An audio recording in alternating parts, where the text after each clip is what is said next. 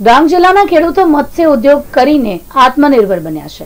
મનરેગા યોજના દ્વારા મળેલી ખેત તલાવડીમાં સ્વખર્ચે મત્સ્ય ઉદ્યોગ શરૂ કરીને ખેતી ક્ષેત્રે નવું સાહસ ખેડી રહ્યા છે. રાજ્યના છેવાડે આવેલ ડાંગ જિલ્લામાં અઠ્ઠાણું લોકો આદિવાસી વસ્તી ધરાવે છે. આ દરેક લોકો ખેતી ક્ષેત્રે સંકળાયેલા છે. નાના પાયે ડાંગર, નાગલી, અડદ વગેરેની ખેતી કરી રહ્યા છે. પાણીના તંગીના કારણે ચોમાસુ આધારિત ખેતી ઉપર નિર્ભર રહી શિયાળા અને ઉનાળાની ઋતુમાં રોજીરોટી માટે અન્ય જિલ્લા કે મહારાષ્ટ્રમાં પલાયન થવું પડે છે. ત્યારે ઘર ખેતીમાં નવું સાહસ કરી અને ખેતીમાંથી આવક મેળવવા માટે ડાંગના ખેડૂતો હવે પ્રયત્નશીલ બન્યા છે. ચોમાસામાં બાદ શિયાળાની ઋતુમાં ડાંગ જિલ્લામાં મહાબલેશ્વર કરતા ઉચ્ચ કક્ષાની સ્ટ્રોબેરીની ખેતી થાય છે. આ ઉપરાંત કારેલા અને શાકભાજીની ખેતી પણ ખેડૂતો હવે કરવા લાગ્યા છે.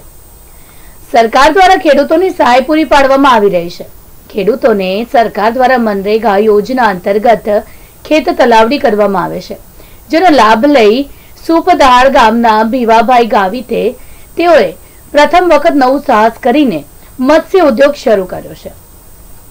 સરકાર દ્વારા કરી આપેલ ખેત તલાવડીમાં સ્વખર્ચે મત્સ્ય ઉદ્યોગ શરૂ કરીને આ ખેડૂત આત્મનિર્ભર બન્યો છે.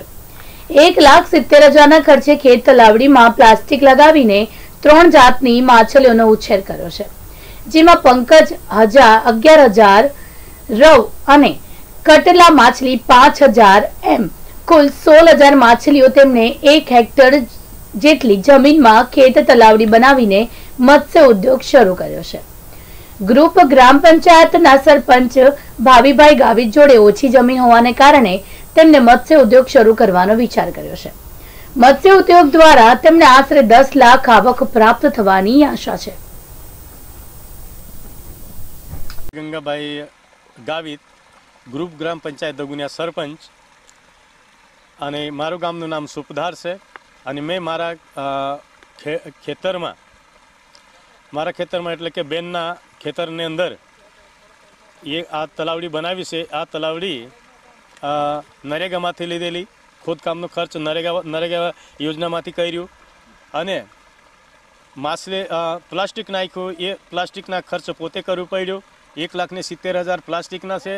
અને પંકજ માછલી નાખી. એના એક નંગના ત્રણ રૂપિયાને ત્રીસ પૈસા બચો, બચા મળેલા.